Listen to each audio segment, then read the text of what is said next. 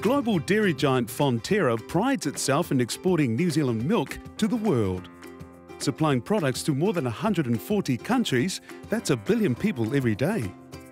And right in the thick of it is Tongan scientist Dr. Palatasa Havea. I work as a research scientist here at Fonterra. The job ranges from very fundamental science to pilot plants and commercialization of uh, intellectual properties. Basically, our main role is to create uh, intellectual properties that uh, results in financial return for our shareholders in the company. Dr. Havea is the only Pacific scientist at the Research Centre in Palmerston North, where they work on a wide range of milk products to ensure they have the creme de la creme. Uh, most of the ideas that we commercialize come from labs like this and here. Have people playing with milk a lot and they come up with an idea and see something new. And basically from this lab we developed the idea where we translate it to the pilot plant and do some more study. If things are looking good, then we can translate that to commercial production. Yes, he's milking it. Dr. Havea pioneered the use of whey protein, and it resulted in hundreds of millions of dollars returned to the New Zealand economy. It's a massive achievement for someone who struggled at school back in Tonga.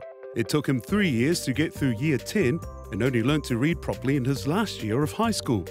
My dad was the one who molded my mind to think about education because he would take me to the field to cure copra and all this in the hot sun, or took me to the garden, and he kept on telling me, this is what life is going to be like without education.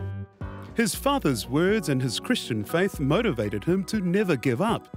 Dr. Havea went from a failing student to graduating from university with honours in food technology. He became Tonga's first food science PhD.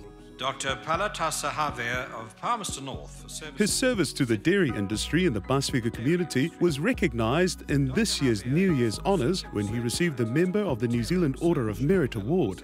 Now his story is inspiring others to follow in his footsteps. I have been involved quite heavily in promoting science among our people here.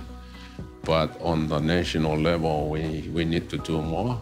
Dr. Havea believes Pasifika students will succeed in science, but they should never forget their roots. Remember the struggle.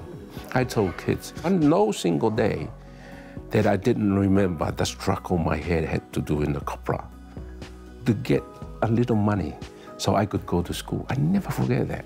I never forget the struggle in fishing in the cold weather so I could go to school. And I think once you have that foundation right, you can go a long way.